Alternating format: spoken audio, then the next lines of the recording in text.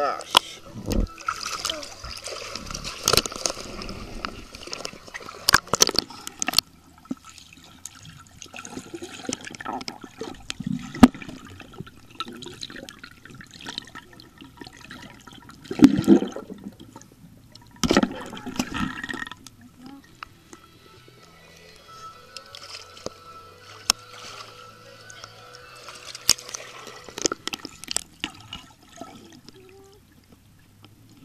Oh, Supergirl sink.